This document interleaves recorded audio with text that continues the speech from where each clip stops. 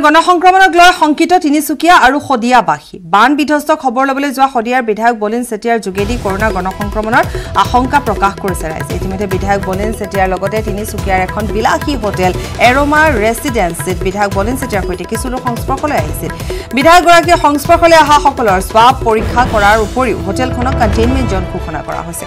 পুনৰ এবাৰ জনাইছো কৰোণাৰ গণসংক্ৰমণক লৈ শংকিত তিনিচুকীয়া আৰু শদিয়াবাসী। বান বিধ্বস্তৰ খবৰ ল'বলৈ যোৱা শদিয়াৰ বিধায়ক বলিন চেতিয়াৰ যোগেদি কৰোণাৰ গণসংক্ৰমণৰ আশংকা প্ৰকাশ কৰিছে ৰাইজে।